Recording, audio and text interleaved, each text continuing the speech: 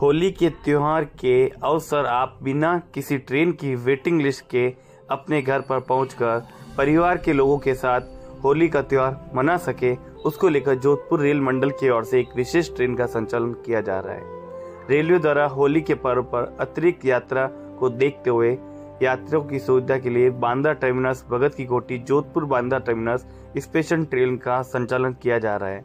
जोधपुर मंडल के प्रबंधन पंकज कुमार सिंह द्वारा ये कोशिश की जाती है कि जोधपुर रेल मंडल में रेल यात्रियों की व्यवस्था बेहतर रहने के लिए साथ ही यात्रियों को बिना टिकट वेटिंग, उनको कंफर्म टिकट मिल सके।